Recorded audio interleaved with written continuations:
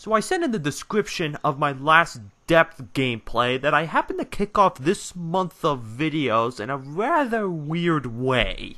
And now here we are on Primal Carnage Extinction and the question I'm asking myself is, how am I gonna kick off this epic adventure of videos?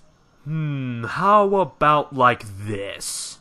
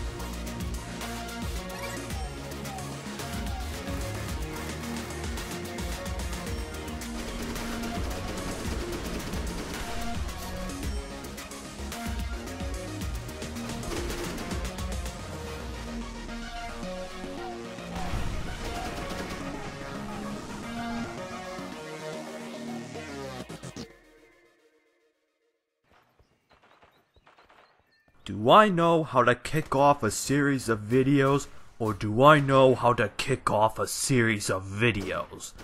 Yours truly here playing the all but notoriously buggy early access that is Primal Carnage Extinction. And as I'm expected to do, I'm here to talk about my thoughts and opinions of what I think of the current build of the game.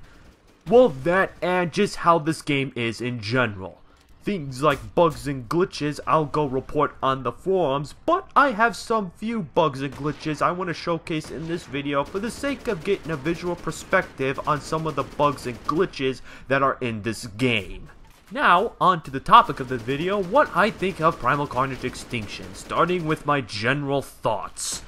Outside of bugs and glitches, I think this game is great. If it wasn't for all the bugs, glitches, and somewhat poor optimization, I would say this game is 90% better than 1.3. I'd say 90% because I still have criticisms as to what the current build of the game contains, but I'll get onto that in a moment. One notable change I really like about this game, and you can clearly see it in this video, is the much, much, much, much, much, much faster paced gameplay. The original Primal Carnage has been noted for its pretty chaotic gameplay, and with this new faster paced gameplay, it now amplifies the amount of chaos that can happen in matches. I also like the new user interface system. I do think it is not only better looking than the original games, but it's also way simpler and way more organized. I can't say too much for the loadout or drop system for this game as both are pretty lacking right now, but I'm sure once development continues on this game, both of them paired up together will be excellent. That sums up all my thoughts on the game in general. Now we're going to be talking about the current build. More specifically, the classes. All of the classes in Primal Carnage Extinction have been reworked both human and dinosaurs. I'm not going to be going too in depth on this like I would a patch details video, but I will be quickly summarizing on how every class feels in this game. Starting with the Pathfinder. He sucks, that's good, amen. Actually, not good. I understand why they made him so weak because a lot of us were so irritated with how powerful he was in 1.3, but I don't think turning his one-shot cannon of mass destruction into a marshmallow gun was a way to go about this issue. In my opinion, I think the Pathfinder should have his health nerfed from 150 to 135 and he would need a really close distance in order to one-shot smaller dinosaurs. Anything outside of that range will do moderate or massive amounts of damage. Again, just in my opinion, but if they have any other ideas of what they can do to make him stronger, do it. just by all means buff the Pathfinder. Next on our list is the Commando, and as you guys can see in this gameplay, he is a functioning class. He is way more accurate, way more consistent, and best of all, his grenades kill now. Well, I don't know now. Maybe they do need a decrease in power, but overall, Commando is fine. No, scratch that. This is the best Commando has been since 1.1. Next on our list is the Scientist, but before I talk about her as a class, I just want to mention something I noticed while playing as her, then began to notice when playing around with the other classes, is all semi-automatic weapons in Primal Carnage Extinction hit dead center middle of the screen. There's no longer a random bullet pattern within a really tight crosshair. It hits the middle of the screen 100% of the time. And in the case of the sniper rifle for scientists, it does exactly that, but that doesn't matter. What matters is how does she play as a class in this game. I feel she's practically no different than what she was in 1.3, so I think she's alright. She's one of the better classes to play as in this game. As for her trank gun, I don't have too much say on that because I don't whip it out and try to kill dinosaurs with it all the time, so I'll get back to you guys on that one if trank gun needs nerfed or buffed but I feel Scientist as a whole is fine. There is no need to tamper with her. She is okay the way she is. Next on our list is the Pyro, and he is absolute weak sauce. The only thing that does reasonable amount of damage is his flamethrower. Everything else sucks. The flare gun sucks. The Molotovs sucks. The chainsaw about as effective as you trying to kill a rhino by scratching it with a twig. Lots of buffs are needed for the Pyro. Enough said. Next on our list is the Trapper, and before I talk about him, I just want to throw out there, in order to knife a netted dinosaur, you need to walk up to it and push right mouse button kinda weird how they did that, but seeing how there are no melee weapons integrated into the game yet, F-Key's new function is to use your throwable items. Anyways, on the Trapper now, I like what they did with his net gun where he's got a more painfully long reload. This makes his net gun way less of a nuisance as if he misses, he's pretty much done.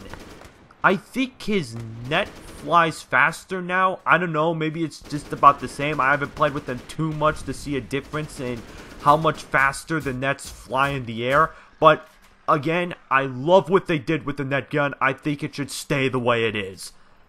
As for the pistols, those need buffed in either A, damage, B, fire rate, or both because I feel with the damage output it has now combined with the fire rate, it makes them feel really, really weak. I tested them with a subscriber not too long ago, and we found out that Trapper pistols take 8 shots to the body of a raptor and 6 to the head to kill it.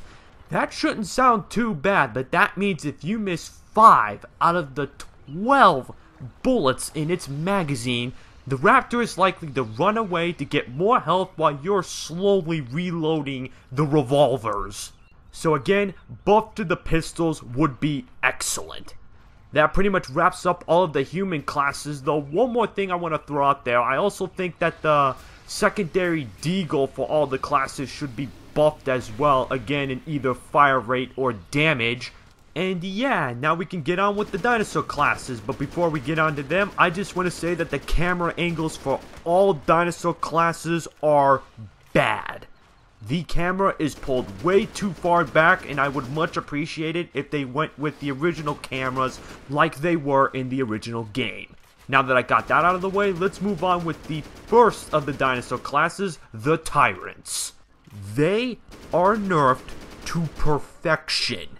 My only problem with them now is they still often tend to bite you in spots where they should not have even reached you to begin with, whether if you be like by their sides or up in an area where you swear they can't reach you, but up oh, they got you anyway. But other than that, I think tyrants should stay as they are right now. Next on our list is the Raptors, and Oh boy. They are so bad. They are practically unplayable right now. The one change I do applaud for them to making on the Raptor is nerfing the Pounce. Ah. Nerfing the slash damage, however, uncalled for. I feel the slash damage should be the same like it was in the original game where it takes 4 slashes to kill all human classes. I didn't keep track with how much slashes it takes now, but trust me guys, it takes a lot. It doesn't help either that there's a delay in between each slash. Think of it like the 1.3 anti-bunny hopping, but for raptor slashes. And the Q roar doesn't do much to counter this cause at all either. So much like the trap pistols, raptor slashes need a buff in both damage and attack speed. Next on our list are the pterosaurs, and they're OP. They're so OP, guys. I find 1.3 Tyrant armor more forgiving than how powerful these pterosaurs are. They fly so freaking fast, and they can carry you at the same speeds in which they can fly at that you are dead before you have any time to react. And what makes it even worse is often humans would just magnetize into their hands. And in case you guys don't believe me, I'm going to be showing video proof at the end alongside all the other bugs and glitches I said I show near the end of the video of this sort of stuff happening. So all in all, Terra needs a huge speed increase in both flying speeds and grabbing speeds. Next on my list is the Dilo, and much like the Trank Gun, this is something I haven't played around with too much to make a whole lot of comments on. I could say they should make his bite do a little bit more damage, but again, I haven't played around with him enough to say the things he needs to make him a better class. Last on our list is the Carnotaur, and while I think the damage on his attacks are fine, his health is fine, he too also moves way too fast. Much like the Terra, I think he needs a speed and maneuverability reduction as well for the sake of making it a little bit easier on the humans and himself. You see, I think he moves and maneuvers so quick in this game that one wrong turn can easily swerve you into walls, poles, and other obstacles that can get you stuck for a few seconds. Heck, I've had instances where I've had trouble trying to ram in the humans he turns and moves so quick. Which, I guess when I put it like that, it makes it sound like his speed is alright, but trust me guys, once you see how it plays in games, you would agree that it is a tad bit unfair that's all the rants I have for now. I will be doing more thoughts and opinion videos as more updates push out for early access, and I hope to see some of the problems I talk about in these thoughts and opinion videos fixed as updates come out. If you guys have any agreements or disagreements about some of the things I ranted about in this video, please leave a comment down below and drop this video a like, and I'll be seeing you all in the soon to come many videos of Primal Carnage Extinction. Take care and have a good one, guys.